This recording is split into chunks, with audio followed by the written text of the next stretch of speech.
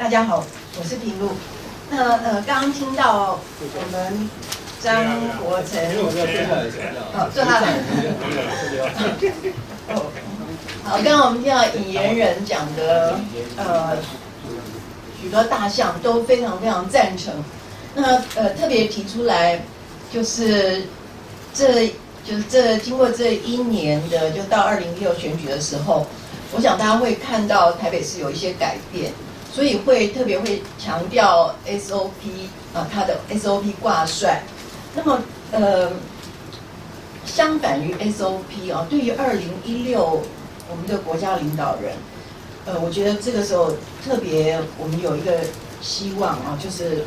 呃，他还是要有清楚的理念，就是信念，相对于 SOP 至少是一样的重要。那么。呃，作为国家领导人，面对台湾的问题，那在我心里第一点就是，台湾目前最关键的是分配问题啊，就是所有的年轻人也最关心，而从太阳花学运也看到时代不正义或者阶级不正义对台湾社会的影响，所以呃，台湾未来的领导人这一点。一定要有很清楚的，就是怎么样翻转，啊，过去由于呃许多的权贵所垄断的财富，所垄断的各种分配上的不正义啊，怎么样做一个翻转？呃，这是第一点，我认为最重要的，也是台湾目前就是社会最严重的问题，或者是整个世世界潮流之下，各国的领导人都必须要解决的问题。那第二点。第一点跟第二点是相关的，就是呃，刚刚引言人也提到跟中国的关系，呃，非常欣赏刚刚引言人讲的，就是那个无法妥妥协的坚持，啊，就是中国呃怎么样跟中国有一个健康而正常的关系，怎么样在他们的威胁利诱的压迫之下，呃，像跟马政府完全不同，能够表现出台湾作为一个国家的尊严。啊，我们所信奉的价值，呃呃，怎么样在各种领域之下提出我们的主张，这是非常重要的。那刚好刚刚提的第一点跟第二点其实息息相关。就台湾最最大的问题，这些年来，特别是这八年来啊，其实就是呃，党国权贵政商啊这样的一个结合之下。使得台湾目前面临种种的困境，啊，所以第一点跟第二点息息相关。那么第三点呢，我认为就是要支持，呃，就是在信念上面，所以未来的领导人啊，呃，要对台湾的无论历史、地理或者是文化啊，有一个非常深刻的理解，呃，特别是台湾四百年来啊，不同于。中国的这个大陆块的价值啊，我们是一个海洋国家，我们应该放眼是我们海洋所带来的机会，呃，放眼海洋所给我们的滋养啊，所以这一点，我认为领导人应该有非常深厚的文化的理论，跟对于台湾不管地理历史文化方面一种深层的认识。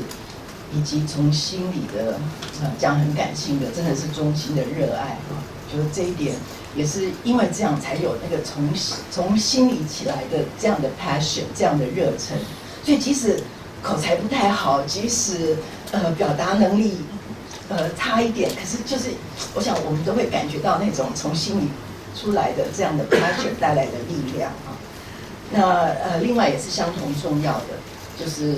宪宪法会是一个问题，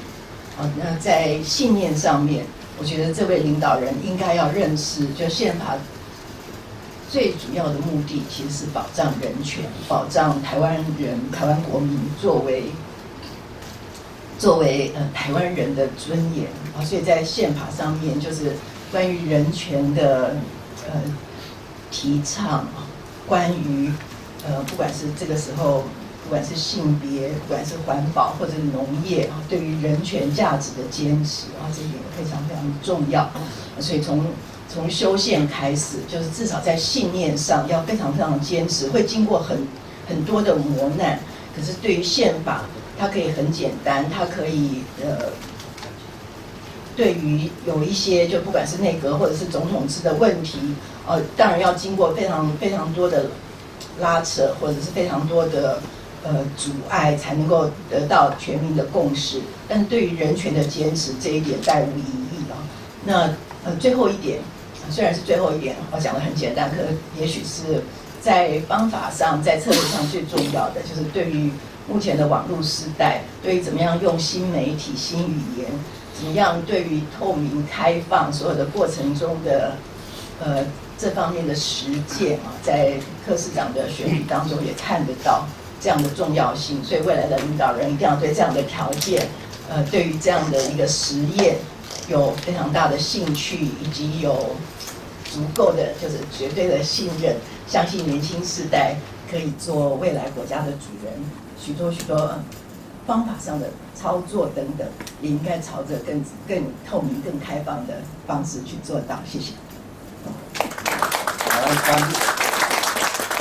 好的，好那我想，因为我在这一次的选举哈，我比较特别，是因为我有那个帮忙那个科批哈，推动那个公民参与哈，所以我今天呢，对于台湾哈未来的总统候选人哈，我就有三个条件哈，从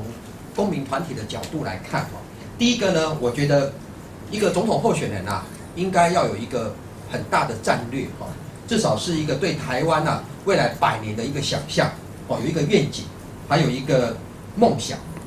因为呢，只有愿景跟梦想啊，你才可以去召唤呢那个公众的支持。好，那所以你这个你要有愿景，你要想象啊，那你的气魄哈就不是就不是那么容易的哈。那第二个就是说呢，基本上哈，我认为一个。在选他要能够改变台湾的选战，我相信这次的科比现象哈，已经根本的哈把我们对传统选举的模式啊做了一个很大的翻转，那我认为那个这次呃最成功的就是公民参与哈，那当然就是说科比提出了开放政府公民参与，其实现在正在发酵当中。那公民参与呢，就是如何从选民呐进化到公民，哈，就是说你不是只有投票的时候你才是主人呐。你要平常，你就是主人，好。但是我认为呢，市长呢都提到了公民啊，总统候选人还要再演化，就是如何让我们的选民变公民啊，再进化到演化的公民，好。因为你公民的话，你还是一个，还就是说，你虽然你会关心公共事务，但是演化的时候呢，让你的视野跟思考就不太一样，因为它就像人的电脑一样，它不断会进化哈。所以我觉得，呃，我们的总统候选人啊。要能够改变我们国家的体质、国民的体质，好，那我想这个是第一个。第二个呢，那他要能够彰显我国的文化的主体，那我个人的看台湾的文化的发展历程啊，如果近百年就是从日治到中国台湾，然后到现在我们希望有台湾，可是呢，我认为要更有远见啊，是世界的台湾，好，那当呢你公民参与生活化。文化生活化，那你不用去谈统独的问题哈，因为你自己的那个主体性就出来了，哦，那就是不容外族啊跟他国啊随意侵犯的，哦，因为只有文化哈才是百年的基业哈，所以我觉得第二个呢，他必须要能够改变选举，那科批带动的是公民参与，那我希望下一个总统候选人啊，是带动的是一个文化的那个选举运动，好彻底翻转。第三个啊。我认为哈，至少要超越科批啊，对吧？哦，你如果一个总统候选没办法超越科批，那请问你你怎么一你怎么以后怎么驾驭台北市的科批？哦，所以阿公，我说阿公哈，那个那个总统候选人啊，你至少要能够驾驭科批嘛，当麦公驾公超越他，哎，让人家觉得啊，你哥比科批更好，好，所以所以呢，我等一会在梦幻名单当中啊。我我其实也有很多的想法啊，就是说谁能够超越科比哈？那我所谓的超越不一定是能力，你只要在某个特质上让人家觉得他比科比带给台湾未来更多的希望啊，那我认为呢，他就是一个很棒的梦幻名单哈。所以这是我对于呃那个国家哈未来的领导人哈，我提出了三个建言哈，谢谢。那个条件跟人选啊，我想人选。大概就那几个了哈。那刚刚我想国成中讲，我想我我应该就可以离开了。对，林东山要封完了。台湾的想法要讲就讲较实际的，因为台湾的律师界哦，就是被被认为精英哦，讲话讲话拢文绉绉，人听无吼。啊，啊，就敢若迄个西公啊咧念经吼，讲话条变变咧，大家听无，我就收钱嘛吼。让它改变这个文化哦，所以我刚刚条件跟候选人呢，第一个先筛删除法，中国的国民党绝对不适合。好，第一个就第一个不能不能选这种的，哦，他的候选人跟他挑出来，全部不能选嘛。好，我讲为什么？这个是一个插动嘛，哈，有党产的政党是那个党产又不是正当拿来的，不是偷国家的，就是偷人民，就偷骗、都抢。哎，有这款进动，这竟然会使存在咧台湾，吼，啊，佫会使做总统，吼，这代表咧台湾是一个无文明的国家了。所以第一个条件就是说哈，先宣。台湾人的耻辱啦。呃，本来就是安，这就是要删去法哈。中国国民党挑出来候选人绝对不适合台湾，就是这样。好，这第一个条件。第二个来讲，其实哈，为科比现象都看得出来，台湾要用什么样条件的候选人，就简单的嘛，诚实啊，实事求是啊。啊，这就讲回来哈，跟这个。为什么我一直赞成说，你讲到中国党这两个字绝对不能选，这代表一样嘛？中国国民党带来台湾的文化就是欺骗的文化，大行拢给你欺骗，连做官的都在欺骗，做官的哈从总统开始骗嘛，哦，一从中讲的政见六三三，到今晚无几行会高，他还是当总统，还够干个走不不来，哦，然后说要捐薪水，捐到现在没有一块，这种全部是欺骗的文化，而且只有他欺骗了，我跟你讲哦。我在法庭上开庭哈，所有的法官从最高法院、高等法院、高高等法院，所有法官都在做欺骗的东西，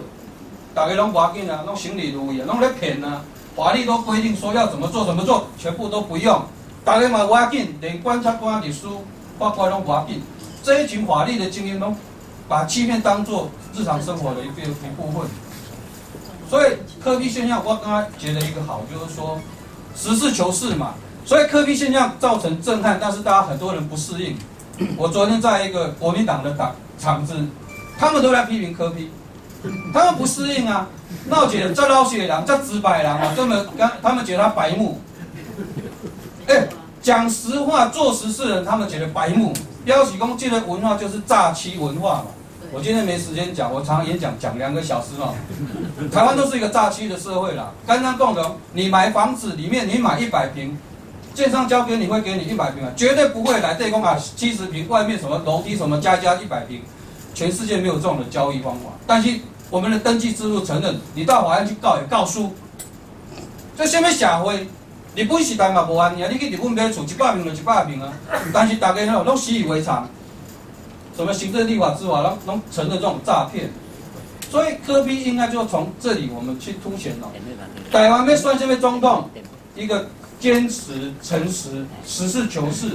诚实文化的的这个条件嘛，就就简单的嘛，这应该讲的在嘛哈。第二个讲哈，我在第三个条件呢，就是说平等主义的。刚刚讲精英主义哈，我是不认同的，那个是权贵哈，啊专制体制熊爱公追的。科比这个我觉得像刚刚何中心讲那个公民参与，简单想来东西，以及贡献他们价值。平民嘛，有利益大家分享嘛，北塞偏财团嘛，公平嘛，公平分配嘛，公平主义嘛，坚持这一点，我觉得这个是啊，二零一六领导人应该具有的哈。第三个，我刚刚哈要认同